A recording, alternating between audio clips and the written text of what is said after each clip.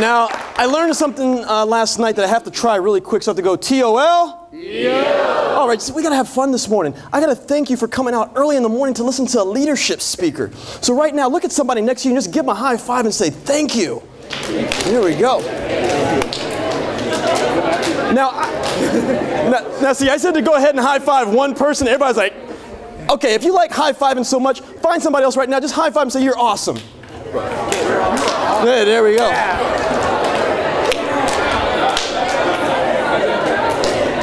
Now, I don't know how it was in your house, but they said it's not polite to point. But we have to make sure we connect with people in the room right now. So look around the room. If somebody's staring back at you right now, point at them and say, You're special. You're special. You're special. Here we go. But I want to prove to you right now how awesome and how special you are. And here's how awesome and special you are. I want you to just go ahead and hold your finger up just like this in the air. And I'd like you to go ahead and just write out your name. Cursive, print, whatever you want to go and do. I know some of you are like, man, he is still writing. okay, the reason I had you write your name out, everybody, because your name is what makes you awesome, makes you special, it's what makes you memorable. It's what people will know you for. We're here at a leadership conference, and as leaders, you're always going to be remembered by not only your actions, but your name. So every action you take comes down to your name. So you have to feel awesome. You have to feel, feel special. And for me, the first leaders I had in my life were my parents, and I wasn't feeling so awesome and special growing up. Let me explain a little bit about me. That's me. Oh, yeah. Now, I tell people I didn't feel so awesome and special growing up because it wasn't about the hairstyle my mom gave me, okay? It wasn't about the clothes that she put me in. It was about the name. Look at that name Frank Cornelius Kitchen. My, thank you for laughing. Thank you over here. She is turning red. My name has 21 letters in it, people. How many letters are there in the alphabet? Six. Right. Hopefully, just making sure. I am five short. It took me until about middle school to learn how to spell my name. I was not feeling awesome and special, but when I figured it out, I was high fiving myself and pointing to myself, going, You're awesome, you're special. Because why would a parent give their kid a name that they cannot spell? I tell people this was visual proof that my parents are evil. but I got through it. And when I got to high school and I'm telling people I could spell my name, like, so what's the big deal? Like, that's not important anymore. It's like, why do you mean it's not important? They go, well, you're in high school, you're about to go to college. It's all about your student ID number. Because no one asks us about our name anymore, right? We got to memorize our student ID number. Or when you come to conferences like this, or you sign off on paperwork, scholarship applications, grants, they ask you for your initials. And that's when I realized, you know what? My parents are evil. Because when I signed off on my college paperwork, here's what I had to sign. Mm. That is a poor leadership decision right there, people. now, anybody here got those parents? Anybody's mom just loves online shopping?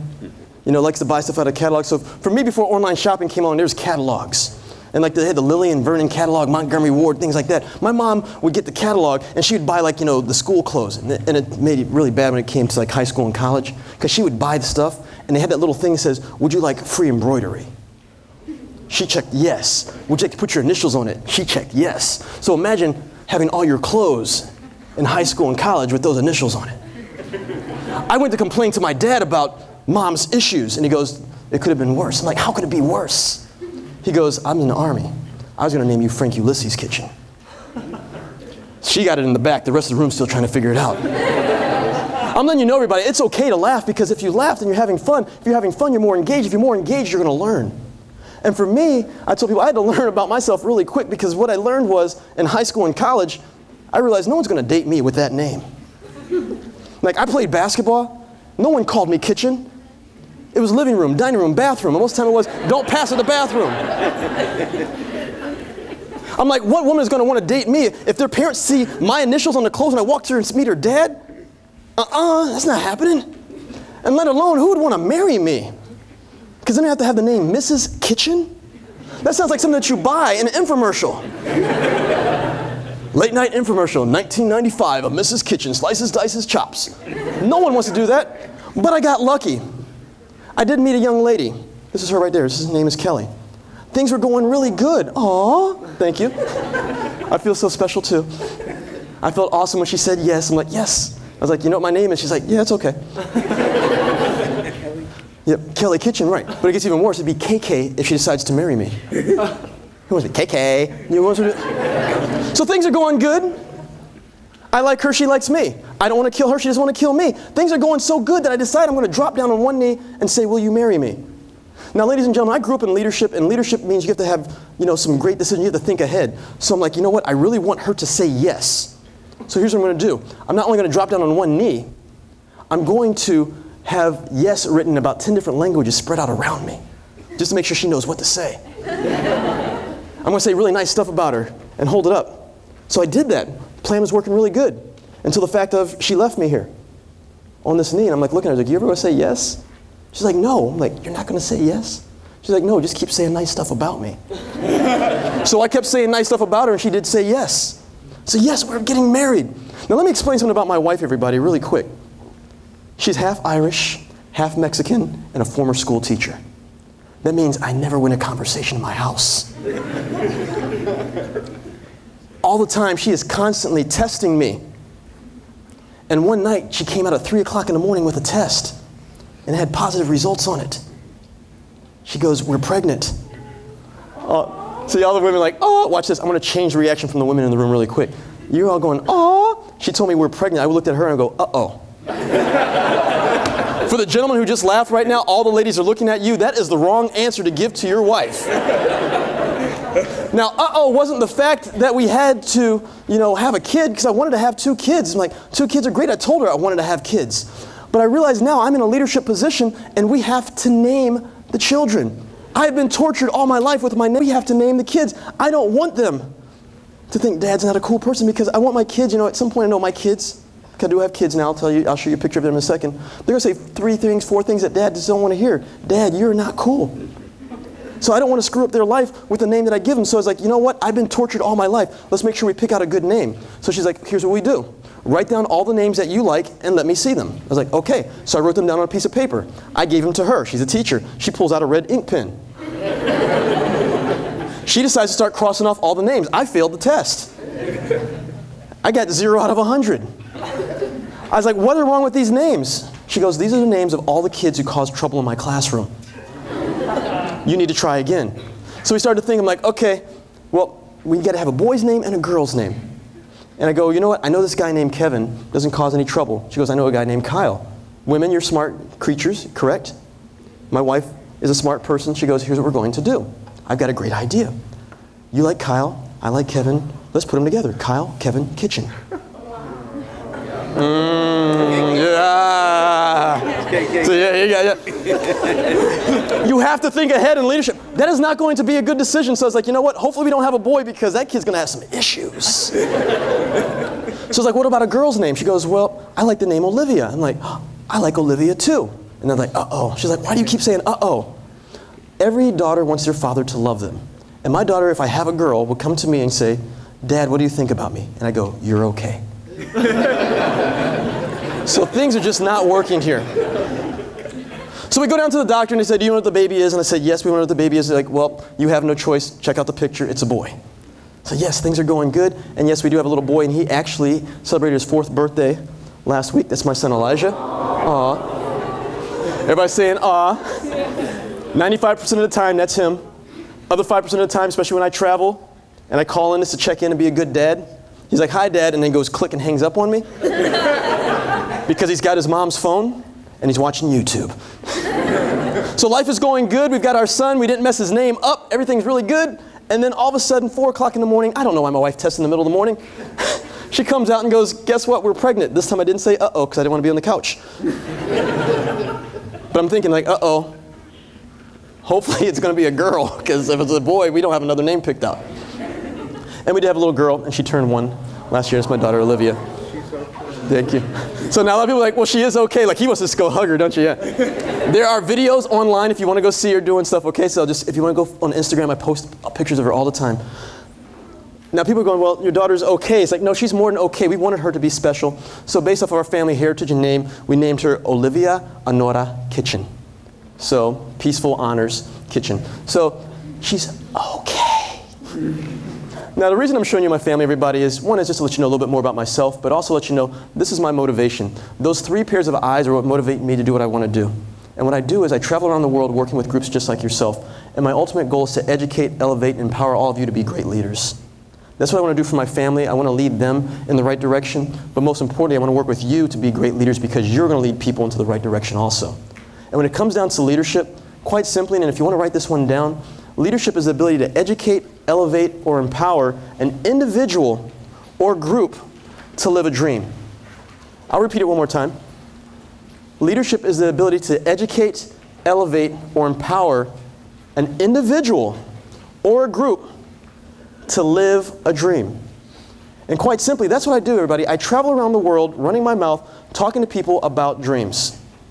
Pretty awesome, huh? Do we have any people in the room right now are told that they talk way too much? You can be honest. Too. Okay, too loud. You know, here's what I'm gonna let you know right now, Omar. I am visual proof that there's hope for you. because I was always told that I talk too much, ask too many questions, but now I get a chance to travel around the world talking to people. And guess what? I get paid for it too. So it's pretty awesome. But what I do is everybody, I talk to people about their dreams. Anybody here by a show of hands, how many people here have ever had a dream? Just raise your hands. Like, see, when I do this around midterms at colleges, the hands do not go up. Like, we do not have time to dream. now, here's my next question. How many people here have had a dream that was just so awesome, so special that it woke you up in the middle of the night? Oh, yeah. Oh, Thomas hears me, all right. How many people had that dream where it was so awesome, so special, it woke you up in the middle of the night that you worked hard to go back to sleep to get back into the dream where you left it off? Yeah. Yeah. She's like, that's me. She's like, that just talks to me. She's like, it's just like Netflix. It's like you stop it and then you come back and it starts right in the same spot. But it doesn't work. But when you get back into the same spot and it's working for you, it's so good, you're having a great dream, you got to share it with somebody, right? So has anybody woken up the next morning? And it used to be you'd rush in and find your friend or, you know, anybody, your work spouse, if you guys are working, you know, you have the people you work around so much that they tell them everything. Now we just get our phone and we text or we, you know, Snapchat, whatever. But we have to go share that with people, right? I had an awesome dream. Anybody ever done that one? You had to share with people? And then look back at you and go, what was the dream about? I don't know. but it was so good I had to get back into it. And the reason we want to share it with people, the reason we talk about it is because we want to live it. And I tell people, here's the case. Dreams you only talk about become a fantasy. The dreams you work to live become a reality. The reason we try to get back into these dreams, everybody, is because we want to live them. The reason we share it with people is because we want to live them. If you think about any great leader, it all starts with a dream. People are like, well, no, a leader's got to have a plan. And we can think about it right now. It's February. It's Martin Luther, you know, it's Black History Month. We talk about Martin Luther King a lot. And he always said, I had a dream. He never said, like, I have a plan. Leaders get people excited based off of the dream that they have. And if you ever look up the definition of plan, or actually not even plan, if you look up the definition of goal, it says a goal is a dream with a plan. So we have to have a dream first. Now here's a tough one really quick. You're all leaders, and as a leader you can lead yourself personally or professionally. How many people here have had a dream that they have not lived yet? That it just keeps them up at night, they just, they, they want to live it. it. It just makes you mad when you see somebody else living that dream. You're like, I had that idea. So we've got that dream. Here's what we're going to do. You don't hear most speakers say this. I know most of you have them out already. Pull your phones out for me real quick, please. Like, huh? What's going on? All right, so pull your phones out. I'm going to ask you to turn your camera on right now. You're like, what? Turn your camera on. We're actually going to take a selfie. And here's how it's going to work out. If you got to get yourself camera ready, go ahead. And, you know, for me, that's why I'm bald, because it's easy to get camera ready.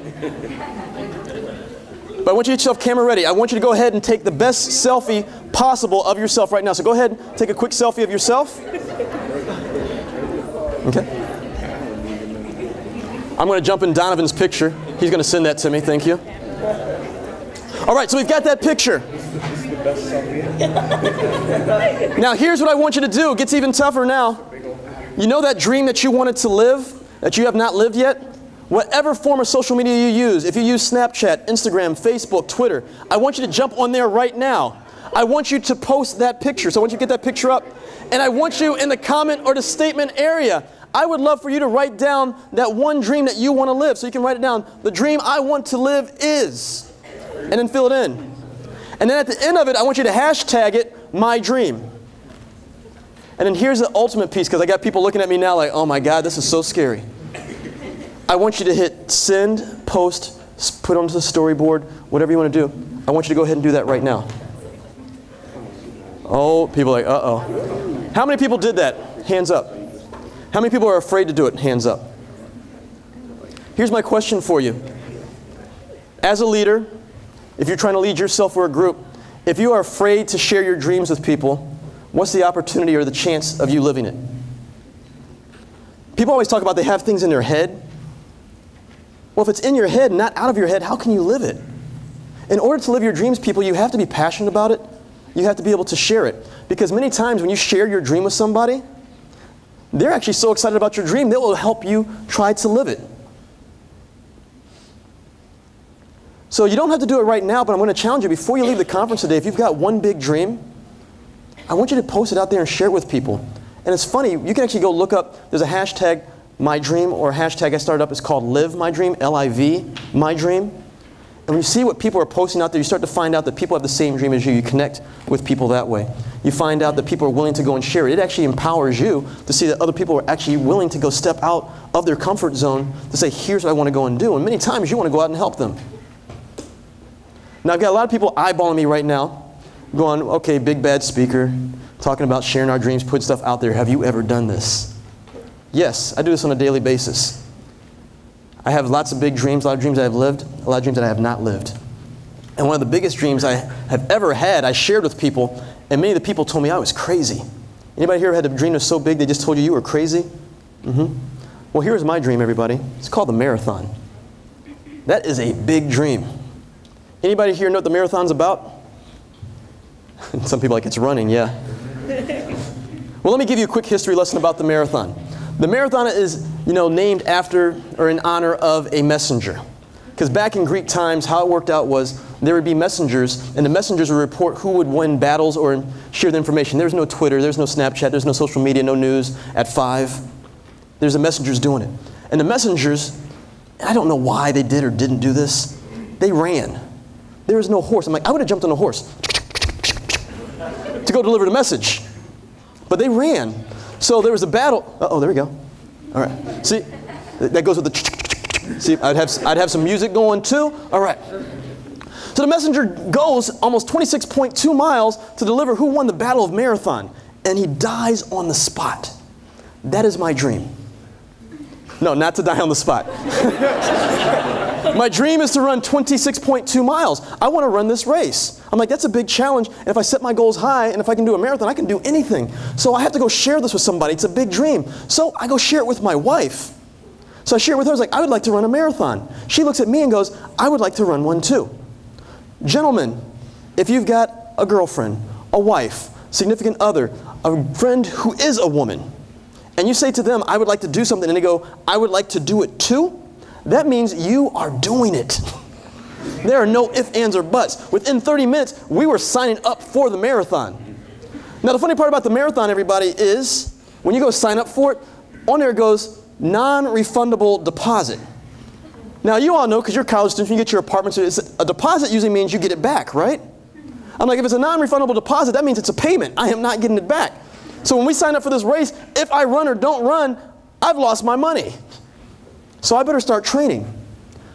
Now, when I signed up, I was like, this thought is pretty cool. And I'm getting ready to train. I'm talking to friends and people on how to train for this. And I find out it's going to take four to six months to train for a 26.2 mile race to nowhere in honor of a guy who died. this is my dream. They're all telling me I'm crazy because I work from home. My office is about 20 feet away from my bedroom. So I don't drive 26.2 miles in a day, and I'm going to run this. So I talked to my wife, like, we got to work on this, we got a plan. She goes, well, how about we train together? Now, if you remember the picture of my wife earlier, let me explain something about her. She's five foot two. I'm six foot two. So there's about a foot difference there. I live in Glendale, Arizona, everybody. And my wife's plan was in Glendale, Arizona, where it's hot, was we would train together. And her plan was, she goes, you're a foot taller, you run faster, so I'd like to train with you, but it's not going to work. I'm like, no kidding. So she goes, here's what we're going to do. She's like, I'm going to go run out first and then you wait at home. And then maybe about 30 minutes later, you leave and you catch up with me. So I want you to run after me and catch me. Now, I don't know where everybody grew up or anything like that, but let me explain this. Glendale, Arizona, there's not a lot of people who look like me. Okay? You saw my wife. Her plan is to run down city streets. A man who's a foot taller than her. And to chase her down on the streets. That was not a brilliant plan especially when the police decide to have a conversation with me. When I explained to them that we're training for the marathon, they looked at me and go, You're crazy. And I got back to training. Now, are there any people in this room who like to run? Have been part of a track team, stuff like Okay, I got issues with you people. because when I was training for the marathon, I was feeling good about myself, but I was running, okay? That's running. Where are those people who like running again? Hands up. These people with their hands up, we're going to call them runners. There's a difference between people who run and runners. And when I woke up on marathon race day and I go downtown Phoenix at 6 o'clock in the morning to a race to nowhere where everybody tells me I'm crazy, I see runners. I was feeling good during my training, felt really good about myself, but I see runners. Everything with a runner matches head to toe. Let's just call it a University of Toledo runner. So everything was blue and gold, blue and yellow. Everything was matching, okay? Under Armour, Adidas, Nike, it didn't matter. Everything matched. I got a gym t shirt and shorts on, not feeling good. These runners, they're doing stretches I have never seen before. they can get their leg behind their head. I can't touch my toes. I'm not feeling good. What I ended up doing was I decided I'm going to look cool and be like a runner, so I would stand next to the runners and I would just make up stretches. Just so I could feel good about myself. Because runners, they're a unique group. The runners in the room, be completely honest. They're honest people. If there was a slow person in front of you, will you run them down? See, they said, yeah, they didn't even take time to think about it. Like, yes, I'm supposed to run with these people. But while we're stretching and looking good, I hear the announcer come on and goes, runners to your positions. Didn't say people who run and runners. They go, so I'm like, okay, I'm feeling good. So I go to my position. But the runners, they're fast people. They put them all up front. The people who run, they put you in the back. So I go to the back and they go, race, begin. It took me 30 minutes just to get to the starting line, people. That's how far back I was. Now, during this whole process, my dream was to run the race, but while I'm watching all this going on, now I've put a plan to it, and my goal has become to finish the race because I don't want to just run it, I want to finish it. So, what is my ultimate goal, everybody? To do what? Finish the race. This is where you can actually interact with me right now. So, my goal is to do what? Finish the race. So, we start to run. Now, we've got the runners, and they look cool. Have you ever seen like the Olympics and you got runners in it? Like with me, I'm like, this doesn't look so cool. Runners are like, so I decided I'm going to look cool like the runners. When they said, runners, begin, I started running. That's the front view. Side view. I was looking good. So mile one, going down the streets, looking good. Mile two, still looking good. Mile three, looking good. Now, I'm going to teach you something really quick. With the runners in the room, they're going to tell you how crazy I am. Because if you haven't noticed, I'm a guy I used to be a former athlete. We've got an ego and we've got this whole competitive streak inside of us. We can't stick to the plan. And the original plan was just to run the race and try to finish it. Maybe finish it maybe five hours if you're lucky. But for me, as soon as I got into that race, things changed. I saw the sign in front of me. It said 415. In the first three miles, I chopped 45 minutes off my scheduled time. Runners, is that good? Mm-mm, right. But my goal is to do what? finish the race. So I keep going. So I'm running down the street, looking cool, feeling cool. Mile five, still looking cool. Mile six, I am not feeling so cool right now. There's this woman who is 70 years old who passes me up with a sign on the back going 50 marathons in 50 states. But I keep running. At mile nine, that's a slow motion. Feeling really good. I look to the side, there's a woman on the side of the road. Paramedics are there. They are working on her. She lived. He's like concerned, so right there. Yeah, she lived. It's okay. It's okay. She lived. But now I'm realizing wait, my dream here could actually kill me because they're working on the person. So now I'm starting to think about this and I keep going. And at mile 13.1, because this race is 26.2, it's not 26, 26.2. It's at 13.1, the halfway point. I've got family and friends who are there. And they go, Frank, how are you doing? I'm doing good. Was that the right answer? No. Because for the first 13 miles, everybody, things are looking good. We ever been to that party where just everything is working out good, everything's just going, but then all of a sudden something happened at the party to start to ruin it? Well, at mile 14, the left side was still having a party, looking good. The right side has said, you know what, I don't like this party anymore. and it decided to start going like this. I don't know if the body's supposed to do that while you're running, but that's what happened. Let's put these pieces together. eh, eh, eh, eh. That's how mile 14 started, okay? So I'm going down the road. eh, eh. But my goal is to do what? Finish it. So I keep going. But then all of a sudden at mile 15, eh, eh, the left side goes, that looks pretty cool. Let me try something. And the leg's supposed to bend, right? Not anymore. So now this one is like a one-legged pirate. And this one's going like this. So it's like, eh. That's me going down the road now. Now, if you've ever seen a marathon or been to one, there are people on the side cheering you on. They're giving you stuff brownies, bananas, oranges. There's kids like just cheering you on. Here's me, eh, eh, eh, eh, going down the road. The kids turned around, looked at their parents and go, he scares me. Why I'm trying to make my way down the road? Because eh, I hear. Eh, I'm like, what's? I'm like, I'm in the road. There's not supposed to be any cars. I'm like looking around. And all of a sudden this thing pulls up to the side of me. It's a bus. At the marathon, I didn't know about it. There's this thing called the I Quit bus.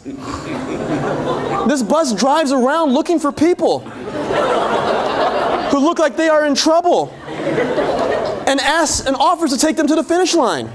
So here's me. You want to get on the bus? No. Why are you calling me? You, you in trouble? I'm not in trouble. And it pulls off. Now, at this point, as the bus is pulling off, I realize as I look around me, power walkers have caught up with me. I have slowed down that much. You know, power walkers. They're not only catching up with me, they're passing me. So, using my supercomputer brain, I reanalyzed things and said, you know what? You look kind of freaky. What should you do? I was like, I should become a power walker. But I'm going to be a cool power walker. Front view, side view. That's me going down the street now about mile 16, trying to power walk. Then I have one of my good friends calls me up. One of the people told me I'm crazy for doing this race. And he calls up and he goes, Hey Frank. I know people like, wait, calls up. Let me let me rewind. I'm going down the street. I hear bring, bring. That's my ringtone. I grab my phone. Some people are like, why do you have your phone? In case I need help. and it takes selfies. And it's my friend Roger. And Roger goes, how did the race go? And I go, I'm still running. and he goes, You're crazy. He's like, I wouldn't do it. He's like, More power to you. And he hangs up on me. I didn't even get a chance to ask for help. and while this is going on with the power walking, I start to look around me, and I've made my way up to about mile 20. And mile 20 is called hitting the wall. And at this point, this is a running race, everybody, and there's about 20,000 people who are supposed to run in this race to nowhere. But when I look around, all the cool people I saw at the starting line, all look worse than me now. Any Walking Dead fans? it picks up again on Sunday. Hopefully, this part of the season is going to be better than the first half, right? She's like, uh huh. She's like, I hope so. I told people I was in the airport one day, and CNN was on in the airport, and they're showing that there's going to be a Walking Dead ride in California. And they're having people having auditions to be zombies. And they're teaching people how to walk like zombies. And they had the, you know, reporter going and like, okay, zombie. okay, you're fired. Like, what? It's like, you don't look like you're dead enough. I was like, how do we know what the undead walk like? Do we have like scientific proof of what a dead person walks like? And they're like, doesn't work. It's like, I told people, I was like, if you want to get some people for that show or get some people for that event, go to the marathon after mile 20. Because there are people there, it's like,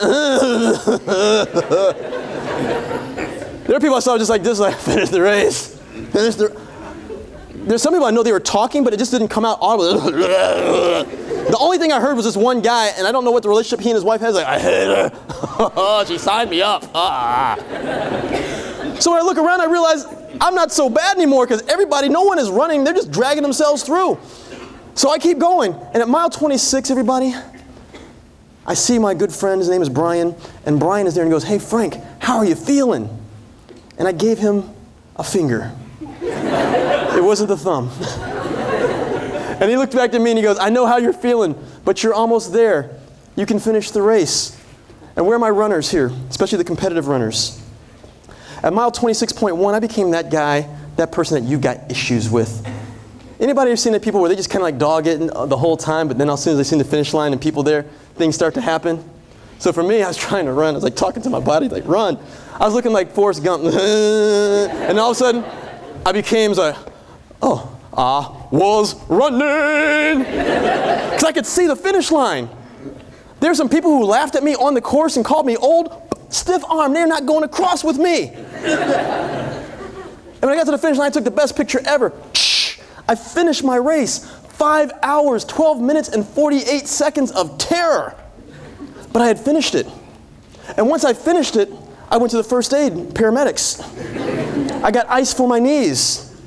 And then I went over to the podium and I had a press conference live across the world. I, Frank Kitchen, officially retire from running marathons because my goal was to finish one race. Now, some people were going, Well, where's your wife? She started ahead of me. At some point, I passed her up. I lost her. I found out from friends at the finish line that she wasn't there yet, so I went to the finish line to wait for her.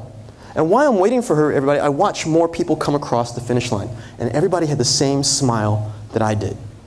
I also found out the finish line, because a bus came up and dropped some people off, I found out about 15 to 20% of the people who sign up for marathons never finish.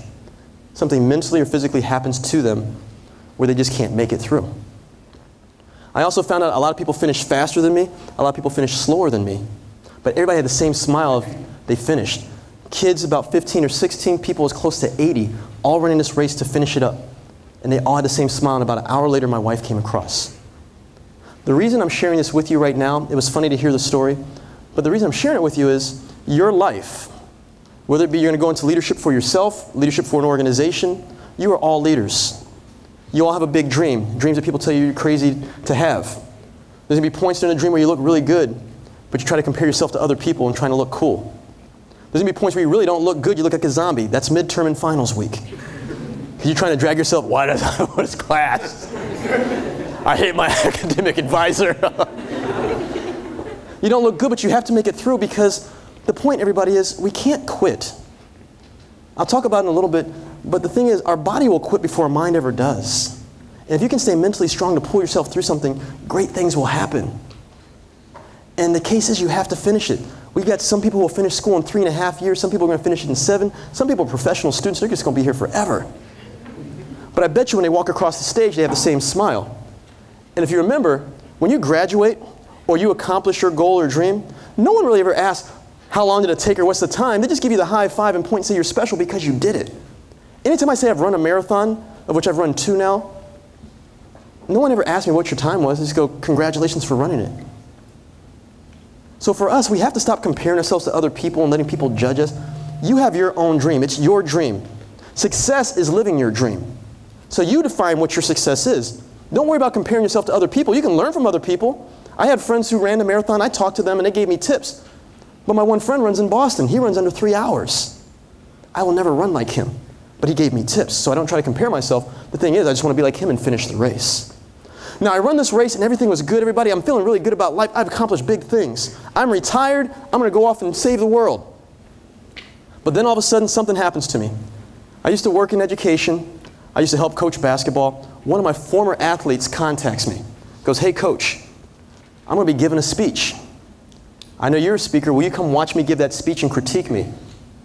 So she had flown into Phoenix, Arizona to give this speech. So I go to watch her give this speech.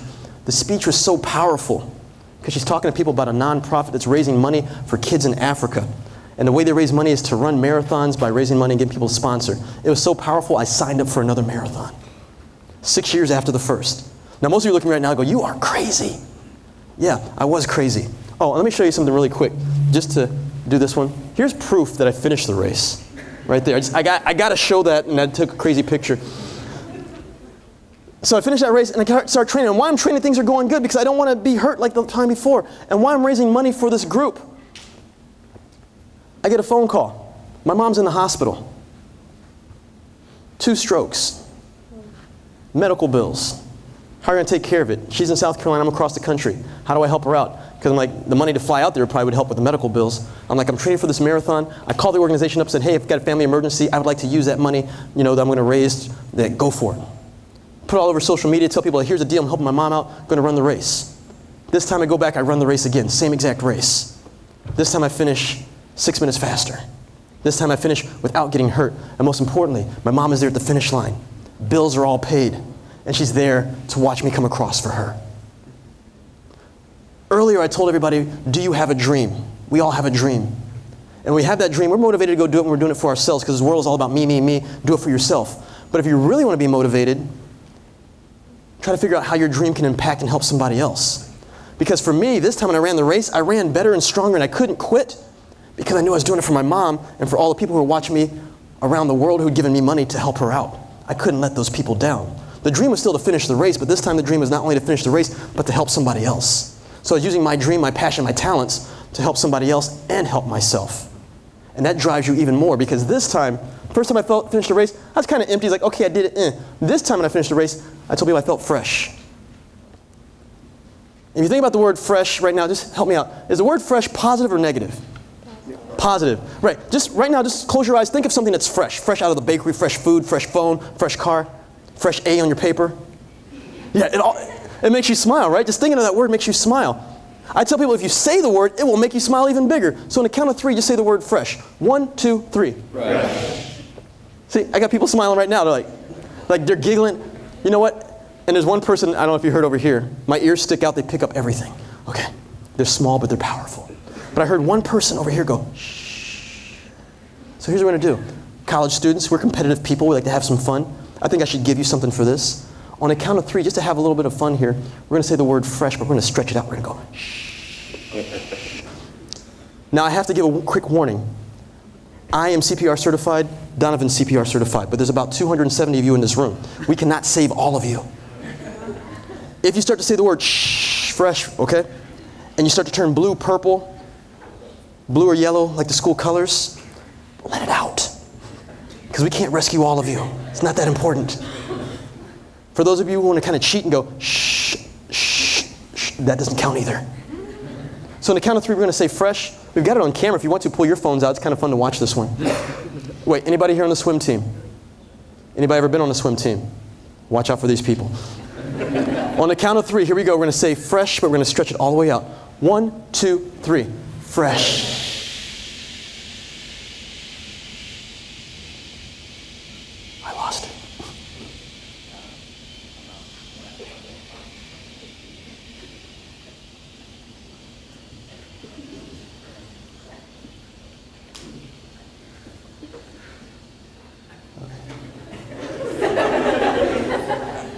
I hear one. Who's the person doing? I'm here. One more.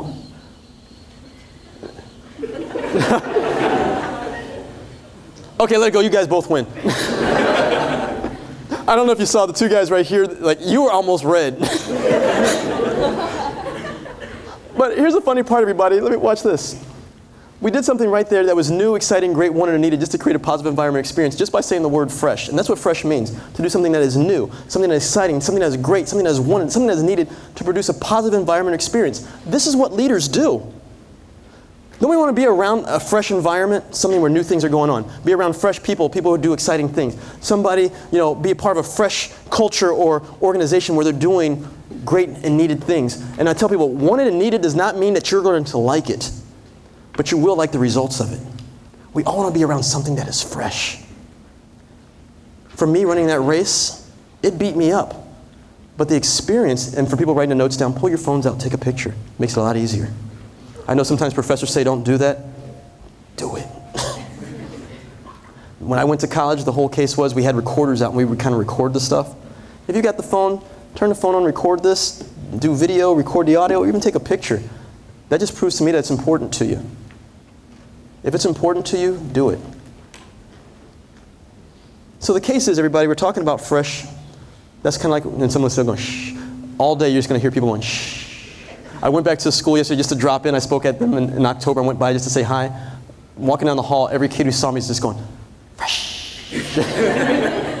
My mom has actually come out to see me speak sometimes, and she was starting to laugh because we were in a conference in South Carolina and getting in the elevator, and people are like, Frank. I'm like, what? Like, fresh it's going to stick in your mind. But if you have any of those negative moments, just think about that word. It will pick you up. But I tell people, I'm here more than just to make you laugh and smile today. I want you to go out and be great leaders, and I want you to live this. Because one thing to think about it, But once we step out these doors, we're back into the real world. So what do we do to live it? So there's five steps to living it. And the first thing you have to think of, everybody, is you are all difference makers and life changers. You are all leaders. It doesn't matter about a title or position that you have, because all of you are life changers and difference makers. You're all going to come in contact with somebody in your life. Today, you're going to probably meet a couple hundred different people. And it's a choice of what type of difference maker and life changer you are. The choice is are you going to be a positive difference maker on somebody or a negative? Our actions, our words, what we post online affect what type of difference maker and life changer we are. And even now, especially with your generation, I was talking earlier here.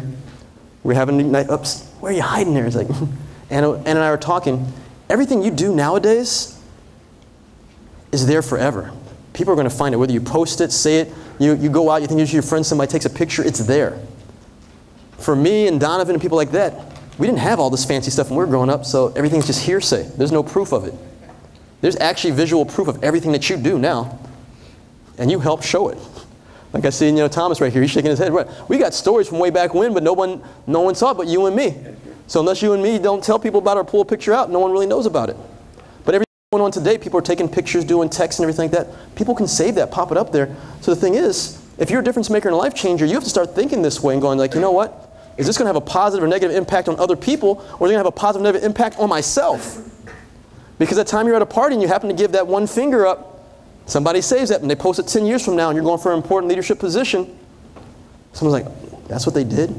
And you're like, that's 10 years ago, I was younger, but they'll still hold it against you. So we have to start thinking when we come in contact with people, I'm smiling at people, I'm high fiving, I'm saying thank you to everybody because I want to have a positive impact on your life. And I want everybody here to be certified fresh. And to be certified fresh, you got to do five things. You can write this one down, or you can take a picture of the screen. But here's what I want you to do. And think about the marathon story. The first thing is, I want you to be focused, everybody. And the focus is, what's your big dream or your big passion? We all have dreams, we all have passions, or we all have a purpose. But what is that focus that you have in your life? Because everything should reflect around that focus. Thank you for sharing that with me, Donovan, last night. Everything should reflect around your focus. So if it has a positive impact on your focus, don't do, or do it. it has a negative impact on your focus, don't do it. So obviously you want to graduate here from college. So every decision you make should have a positive impact on that focus. If you're trying to go own your own company after college, then everything you do right now should have a positive impact on that. So you got to be focused. For me in the race is all about the training. The focus was to finish the race, so I focused on my training. The next piece was I had to become resourceful. Resourceful means you have to think about everything that you can do versus everything that you can't. We're in a world right now where everything is negative. And all the things people tell you to do is what you can't do. But guess what? Nobody can do everything. You have to think about what can you do and what are you good at. You are some of the most creative people in the world. I worked for nine years at a college in student activities. I had several students who came to me and said, hey, can you help me out because I can't take my final. Why can't you take your final? Well, they did it a week earlier and I can't get into it. It's like, why couldn't you get into it? It's like, um, I kind of made up an excuse. What was the excuse you made for getting out of your final? Well, I lost five sets of grandparents. I lost six parents. I lost eight dogs. I lost three hearts. I'm like, wait a second. You got that creative to get out of a test and now you're trying to get back into it? Why don't you just study for it? I actually worked in a point where we had a student who went to the study lab they actually were a graphics arts major. They actually made the candy bar wrapper, and in the candy bar wrapper where the ingredients were, they put all the answers to the test. They got busted. We asked, how long did it take you to put this together? It's like, oh, about six to seven hours. Couldn't you have studied for the test to pass it? So some people are resourceful, but resourceful the wrong way. If you look around this room right now, everybody in this room is a human resource to you. When I went to college, I had a guy who sat next to me. We became friends later on. He actually did my wedding ceremony. Because we met at a conference like this at a college. If you see people as a resource and somebody who can help you out, you see them as a difference maker and a life changer, great things happen. So be resourceful. Then after that, you got to be enthusiastic. Because in the race, my resourcefulness was I started to walk. Because they just said finish the race. They didn't say how you had to finish it. But then I got enthusiastic. Because enthusiastic, it wasn't about the 26.2 miles that I had to run. It was enthusiastic about the fact of I get to finish the race. And at the end of the race, they give you a medal. They give you a jacket. And there's a massage therapy school at the finish line that gives you a one hour full body massage. I was excited about that. We're enthusiastic about the results of our work. How many people are enthusiastic about writing a term paper? right. How many people are enthusiastic about getting an A and getting that paper out the way? See? We're enthusiastic. Uh, so let that be the driving force, everybody. You're enthusiastic about the results of the work. How many people are ready for spring break and some of you are going out of town to somewhere warm? Doesn't that drive and motivate you to go do something good? Yes. So we're enthusiastic about the results of the work we put in. Then after that, everybody, we got to stay strong and we got to stay strong mentally. I talked about it earlier. The body will quit before your mind ever does. So if your mind quits really quick, then guess what? The body's going to quit even faster. There are going to be tough times in life. There are no easy things out there. I tell people all the time, I go, you know what? Anything is possible, but nothing is easy. And we all want that easy button. We want everything easy to be handed to us. We are the now generation. My son right now, if the phone is buffering on YouTube, he wants to throw it. I've seen my phone thrown across the room several times. What is going on? The phone is not working for him. The internet's not working. Or even worse now, there is a commercial on. Because you guys don't even have commercials to worry about. It's just like speed through. Netflix, Hulu, no commercials. You love that type of stuff. But tough times are going to happen, so you have to stay strong mentally. And you have to know that you're going to have those tough times. All my friends told me at mile 20, you're going to hit the wall. You're not going to feel good, but you have to drive your way through. For most of you, junior year, that is a tough year, isn't it? You're so close to the finish line. You can see it. You see your friends who are starting to walk across stage. And you're like, why do I have to keep doing this? But you have to stay strong mentally to push yourself through. When you have meetings with your organizations and you've got those people who are just causing trouble for you, we know those people. You have to think about the result that you have to get through because, like, you know what? I'm going to deal with this tough situation right now to make sure that we have a great event next week. And then the final one, everybody, the H, you have to be honest. And I'm not telling you to be honest with other people. Number one is you have to be honest with yourself. For me, I had to check my ego at the door. I'm not a fast runner. So honestly, I had to realize all I can do is finish the race. Don't worry about time. Honestly, I had to go ask people for help because I didn't know much about running. Honestly, I couldn't blame anybody else. We're in a world where we want to blame and complain. It's almost become the American way now to blame and complain and point at other people. But honestly, do we look at ourselves? We want to blame the professor for that test. Did you study for it? We want to blame our counselors for making us take that class. Honestly, don't we need that class to, you know, graduate? Maybe we shouldn't take a night class, we should take a morning class. We have to be honest with ourselves. And the number one piece about being honest with yourself is being able to ask questions. Go out and seek knowledge. Because how many people have ever had that situation? You want to ask a question in class, but you're embarrassed, so you don't answer, ask the question. Then you put your hand down, and then all of a sudden the test shows up. And the first question on the test is that question you didn't ask. You have to be honest with yourself, everybody, and realize if you want to go somewhere, you want to make that dream happen, you have to figure out what do you have to do to make it happen and realize it all starts with you. You can't blame other people. If you need help, go ask for help. If you don't have the resources, go find them. If you don't have the focus, get focused. It comes down to you. And when you do that, I tell people you get to live fresh. And that's why I'm here today. I want all of you to live fresh. If you look at this hashtag, take a picture. I would love for you to use this. This has pretty much become my mission over the last six months. It says hashtag I live fresh we're in a world right now where we're seeing just more and more negativity every day, correct? Social media, television, people, we've just got nothing but negativity being spewed out all the time. And that's what we're being exposed to. And they say the more you're exposed to something, the more you believe that can happen. And I talked to a friend a few weeks ago, and he goes, You know what? There's a lot of negativity going on, but he goes, There's a lot more positive going on in this world than negative. He's like, We just don't see it. So if you're truly a leader, everybody, here's the challenge I'm going to have for you today when you step out. You can even start it right now. I've been asking people is when you see, experience, or a part of something positive going on, let's go ahead and post it, take the picture, put it up there, and be a leader and start the change. And hashtag it I live fresh, or make your own hashtag that's a positive, you know, reinforcement, empowering piece. But put it out there because look around the room right now. If we were to step out of this building, walk into society, and say college student, would they have a positive idea about you or negative? Just mostly. What do you think? Negative, right? You party too much, you're lazy, you don't study, you know, you don't take, you know, you just want everything now, now, now, me, me, me. But when you walk around this college, how many positive things do you see? People graduating, starting up businesses, entrepreneurs, passing a test, helping somebody out with the studying, finding a roommate, helping somebody out who's feeling a little homesick because they're from across the country. Does that happen every day? But do we see it? No. So we have to change the narrative, and that's what leaders do.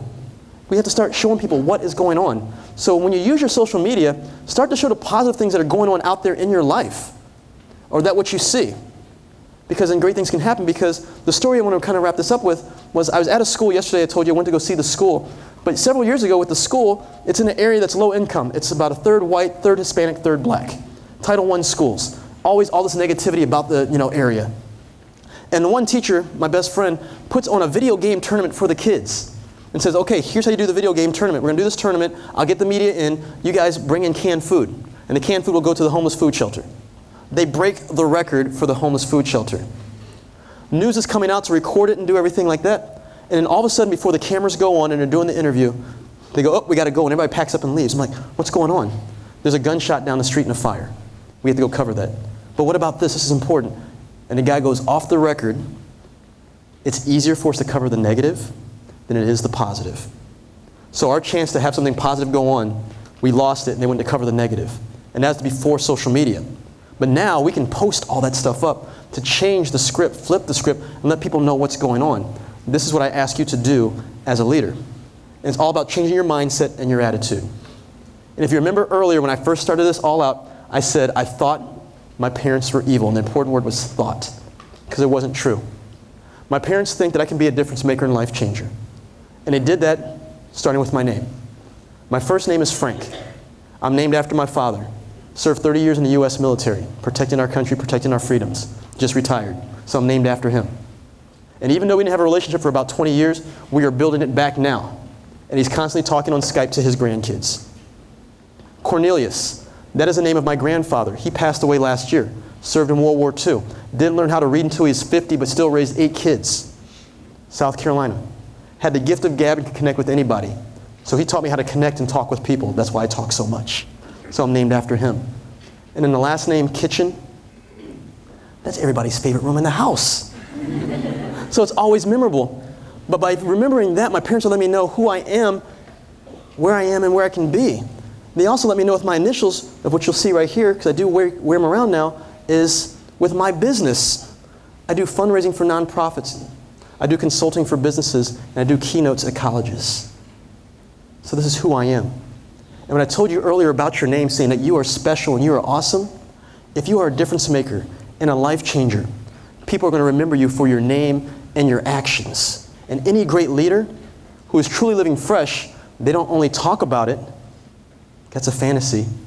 They go and live it to turn into reality. Ladies and gentlemen, my name is Frank Kitchen. This is how you keep in touch with me. Today is the beginning of a relationship. I want to keep this going. Keep in contact with me. I got two workshops today. The energy, the attention you've given me so far here in this keynote, please give it to the other speakers today. Help them live fresh. But once again, don't just talk about it, live it. Thank you so much and have a great morning.